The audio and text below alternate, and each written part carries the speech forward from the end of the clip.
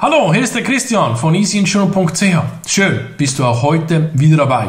Und zwar habe ich heute wieder ein Erklärvideo zum Thema Hausbau. Was brauche ich da für Versicherung?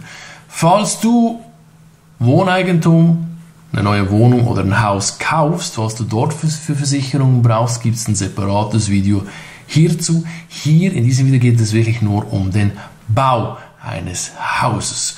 Legen wir los. Ich habe wieder eine Checkliste erstellt. Es gibt vier Versicherungen, die relevant sind.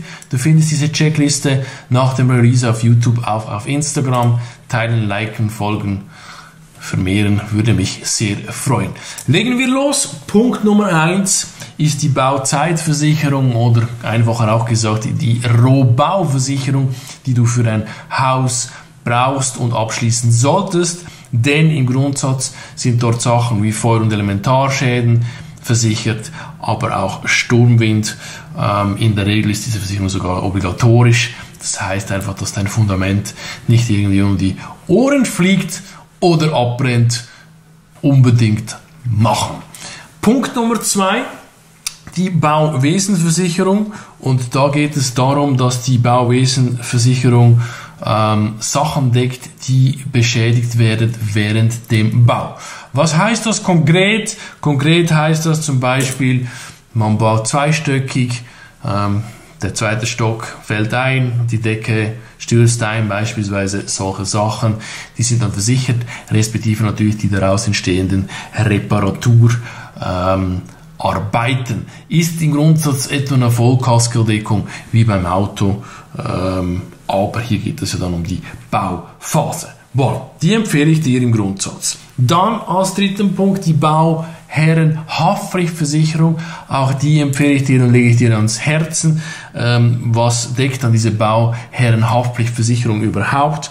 Im Grundsatz musst du dir das so vorstellen, dein Bauobjekt kann, äh, auch wenn es unbeweglich ist, aber es kann durchaus passieren, andere Leute, die unbeteiligt sind, daran ähm, verletzen oder beschädigen.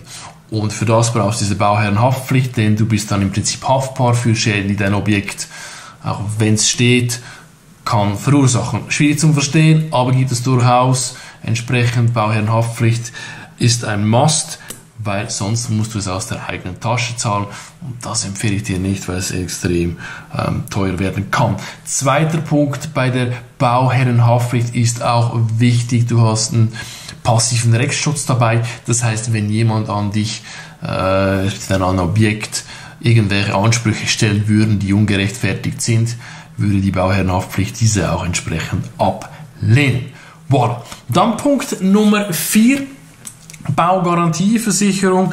Wichtig im Grundsatz ist es ja so, dass nach der Bauabnahme, also das ist fertig gebaut, das Haus jetzt, ähm, gibt es ein Agreement zwischen dir als Abnehmer und dem Bauherrn.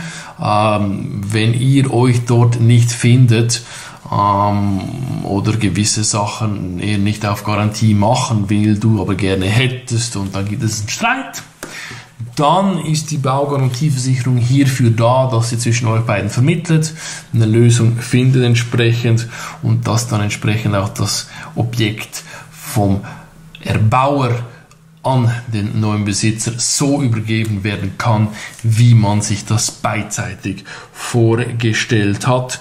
Und es schützt dann auch beide Parteien, sodass beide entsprechend happy sind. Nun, ich hoffe, dieses Video hat dir gefallen. Bitte liken, teilen, feedbacken, weiterempfehlen. Würde mich sehr freuen. Auch kommentieren unter der Spalte bei YouTube. In diesem Sinne, sei easyinsurance.ch. Bis zum nächsten Mal. Mach's gut und pass auf dich auf.